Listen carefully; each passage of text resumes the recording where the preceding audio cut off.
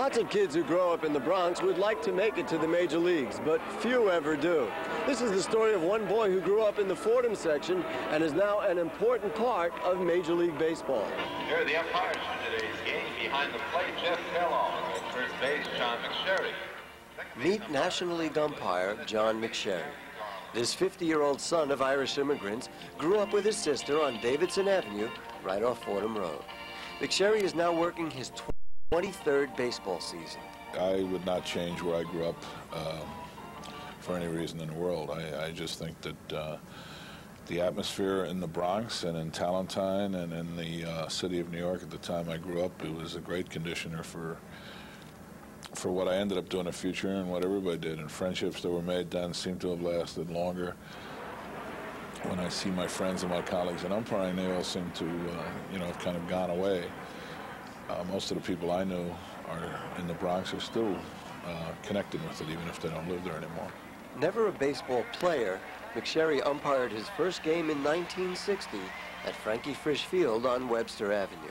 I worked all the parks in the Bronx, with Babe Ruth, Macombs Dam, Crotona, Harris, Van Cortlandt, all of them. It's an ability to uh, run a game and run yourself on the field, and, and that kind of blends in with with everybody's different uh, persona, and I think you need to uh, work from your persona.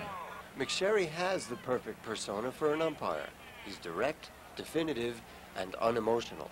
So it's no wonder that he has risen to the top of his craft. What excites you about it is um, you are doing something that very few people can do, understand, and uh, you are part of an overall thing that affects a lot of people's lives.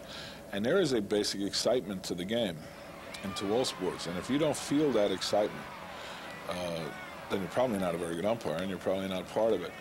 The fact that you're on a field with um,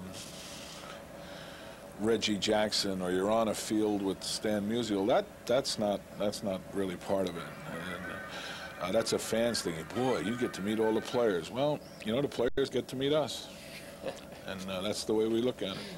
Having grown up in the Bronx and still proud of his roots, one distinct opinion that McSherry does have is about his borough's relationship to its home team, the New York Yankees. I still feel part of the Bronx. I'm in the Bronx. I uh, eat at restaurants in the Bronx. I, uh, I exist in the Bronx. And uh, Yankee Stadium is a very identifiable thing with baseball and with the Bronx. Also, if it leaves, it's it's really one of the last national identification things we have. And the Bronx is a much better borough now than it was 10 years ago.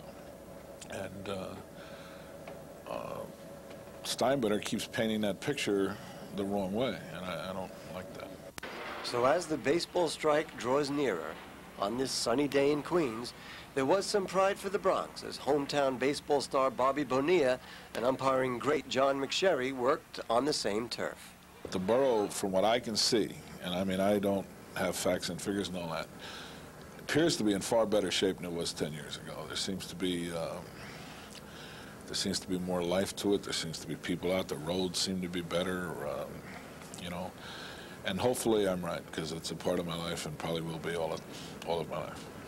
As the game's last out was made, the Marlins celebrated their 2-0 victory while the Mets tried to figure out what went wrong. Bronxite John McSherry walked off the field unnoticed to get ready for his flight to bring a bit of the Bronx to another Major League town. From Shea Stadium, Gary Axelbank for BXNY.